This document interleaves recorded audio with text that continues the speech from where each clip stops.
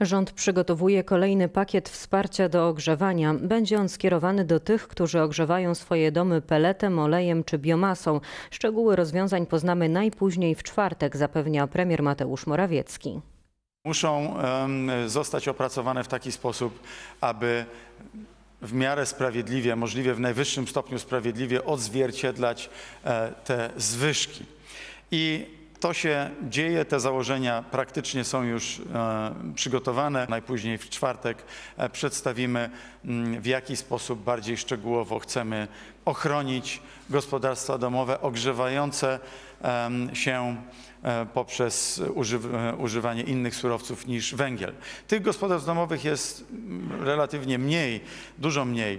Mm, Pelet, olej opałowy, gaz LPG. Rząd rozważa m.in. mechanizm obniżenia VAT-u na te nośniki ciepła. Szacowany koszt dla budżetu państwa to od 10 do 12 miliardów złotych. Chcemy podejść do tego w możliwie sprawiedliwy sposób. Jeżeli obniżymy VAT od wszystkich tych surowców, a mm, e, względny wzrost cen był różny w ich przypadku, to możemy znowu w sposób bardzo różny potraktować różne gospodarstwa domowe.